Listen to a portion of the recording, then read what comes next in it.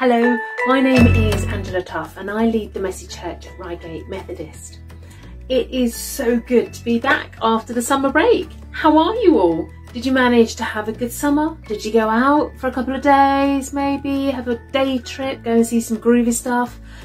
Well, we actually managed to get away for a few days. I went on a canal boat with my family and it was just what we needed.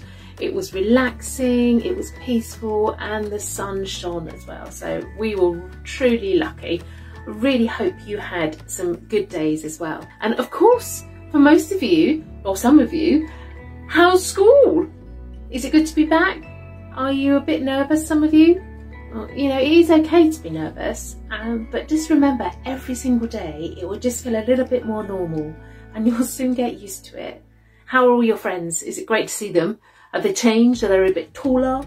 Talking of your classmates, before I read the Bible passage we're going to focus on today, I want all of you at school to think about your classmates, you know, your friends, how different they are, are they the same?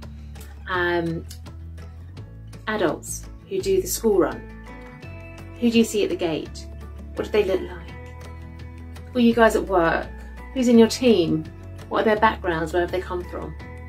Keep that in your mind while I read us our passage today. You are no longer wandering exiles. This kingdom of faith is now your home country. You are no longer strangers or outsiders. You belong here with as much right to the name as Christian as anyone. That was taken from Ephesians chapter 2, verse 19. God wants us all to belong. So we have people around us, so we're not lonely. So we feel valued and that we've got people to help us. Here's a story about a person that we'll call Malcolm. Now, Malcolm lived in a beautiful, huge house with a lovely garden. And Malcolm decided that he wanted to have a family. And he thought, actually, I'm going to choose my family. So um, Malcolm was a man, so he decided that only men were allowed in his family. Malcolm had dark hair, so he decided that only men with dark hair could be in his family. Malcolm also liked to play ping pong, so he decided that only men with dark hair who likes to play ping pong could be in his family. Now Malcolm was rich, so he decided actually only rich men with dark hair who liked to play ping pong could be in his family. Also, Malcolm was British, so he decided that only rich British men with dark hair who like to play ping pong could be in his family. Also, Malcolm liked cauliflower flavoured crisps. So he decided that only British, rich men with dark hair who liked to play ping pong and who liked cauliflower flavoured crisps could be in his family. There they were, all this lovely family, um, until one day Malcolm had a look around and he thought, actually, there's something not quite right here. What happens if one of our family suddenly their hair starts to go grey or we become bald? And all the rich white men with dark hair who like to play ping pong and eat cauliflower flavoured crisps, they looked at each other in horror. And then he thought, well, what about all the other people that might enjoy my lovely, big, huge house with a lovely garden? What about the women and children? What about all the things that our money can buy, other people might like to enjoy those. And what about all the other flavours from the multi-pack of crisps? Who's going to eat those? So the family got together in little groups and they decided, well, shall we stay together or shall we invite other people in? I wonder what they decided. Did they stay safe and cosy or did they invite other people in? I wonder how hard that decision might have been. Of course, Malcolm's family, it doesn't really exist. But Sometimes we take it for granted just how everybody in God's family belongs. We forget how amazing it is that absolutely anybody is welcome. It doesn't matter what country they've come from, it doesn't matter what they look like, it doesn't matter how rich they are or what sort of life they've chosen to live up until now. Because of what Jesus did on the cross for us, the doors to God's huge, beautiful family are wide open.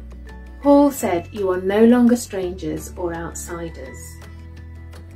You belong here, with as much right to the name as Christian as anybody else. Today, though, so many people do feel like strangers and outsiders in the country where they live, where they were born, even. People feel that sometimes other people think their lives, their work, their talent don't mean as much as other people's. Just because of what they look like, or where they were born, or who they choose to love, or how rich they are, somehow they are less important.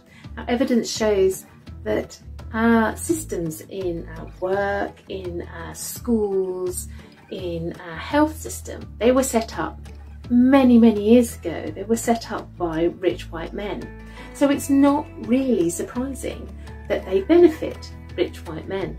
That might, that might not have been their intention, but unfortunately, that is the result. They do not benefit the wider community, our diverse neighbours, our own brothers and sisters. God, He treats us as equals and therefore makes us equals.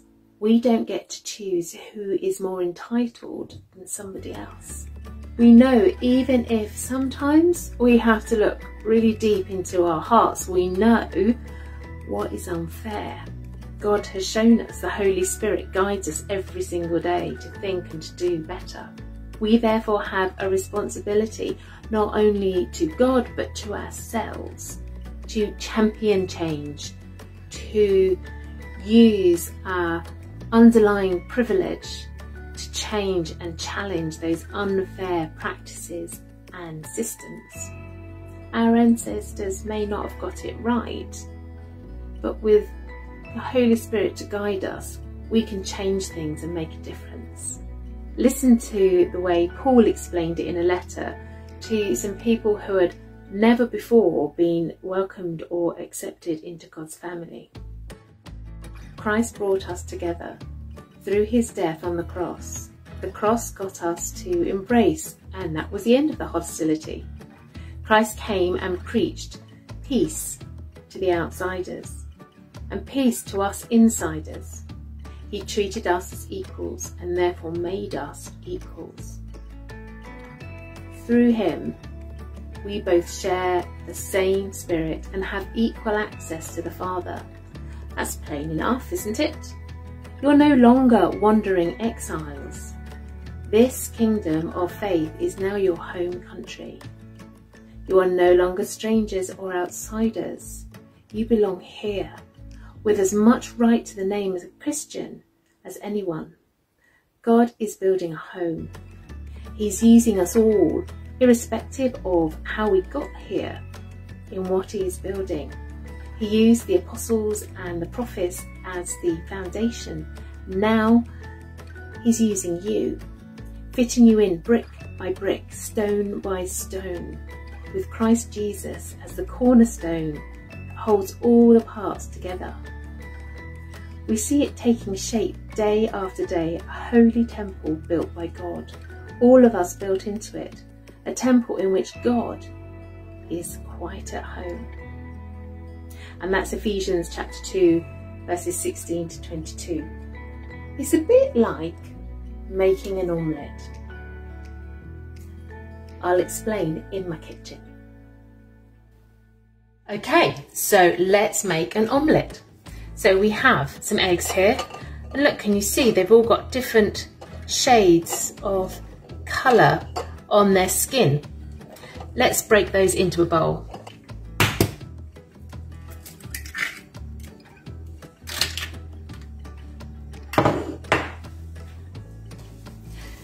So they look pretty much the same inside. Let's whisk them up.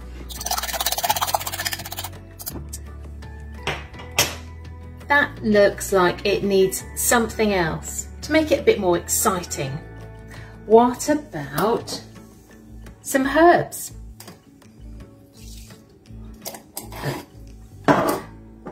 And a bit of spice.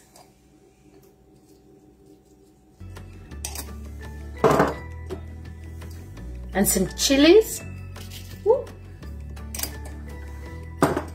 Bit of salt.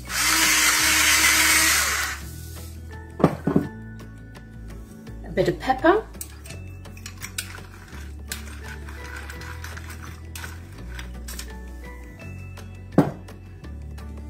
There, that looks good. Let's mix that up.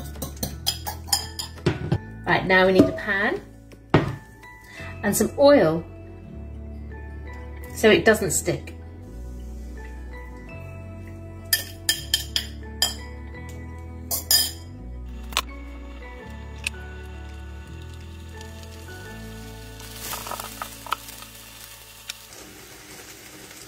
Maybe a bit of cheese.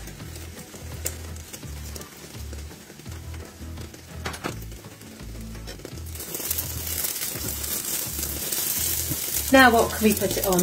You don't want a plain plate. I know. How about this one?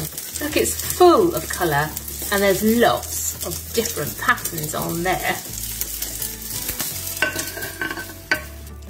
Perfect. We look different on the outside and it does seem that we look the same on the inside, but in fact, we are so much more than that. All our different experiences, how we think, how we work, what is special to us, how we see things, this is what is important to understand. We are all different, and because God treats us as equals, He makes us equal. All our differences, all our herbs, all our spices, all our cheese, all our salt and pepper, all our differences all have equal importance they are equally needed, are of equal value. You belong here with as much right to the name as Christian as anyone. God is building a home. He's using us all, irrespective of how we got here, in what He's building, fitting you all in brick by brick, stone by stone, with Christ Jesus as the cornerstone that holds all the parts together. Did you hear that bit? Christ Jesus holds all the parts together not some, all the parts. So next time you make an omelette, think about all your wonderful friends and family and how different we all are and how we are all equal and all valued.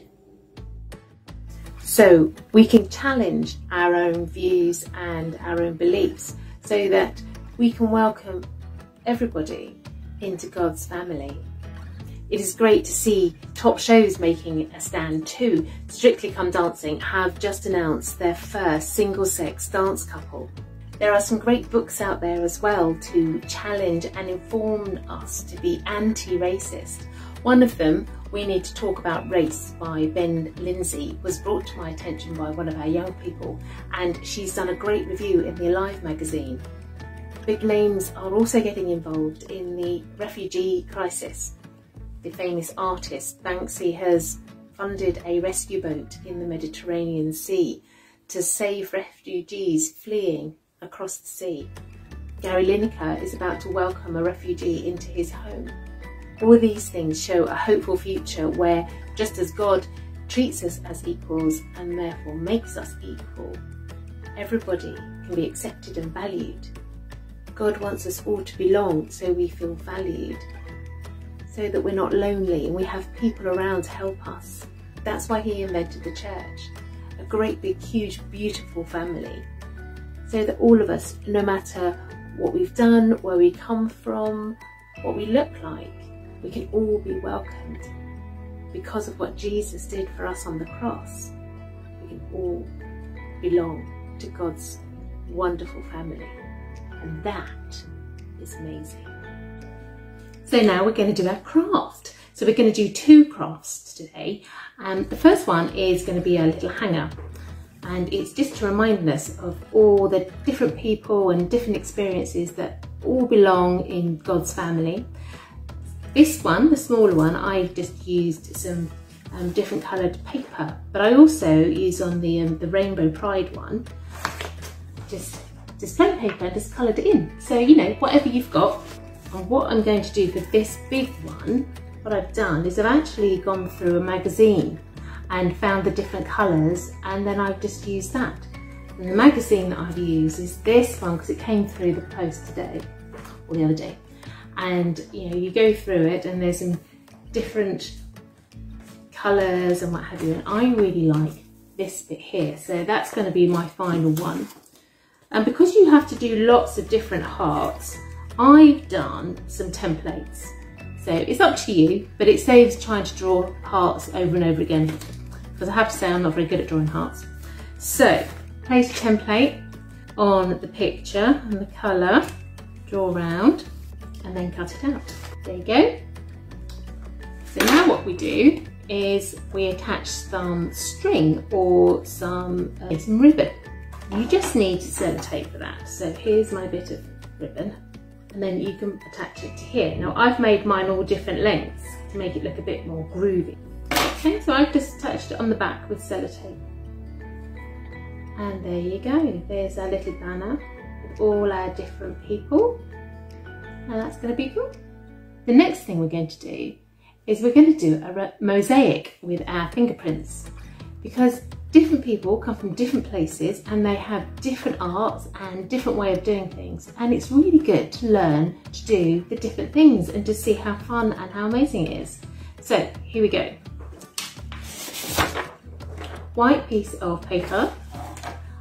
I've got some different coloured paints I've got a bowl of water to wash my fingers and an old tea cloth to dry my hands on. So let's go home then I'm going to do yellow. And you just keep building it up as you go with different colours.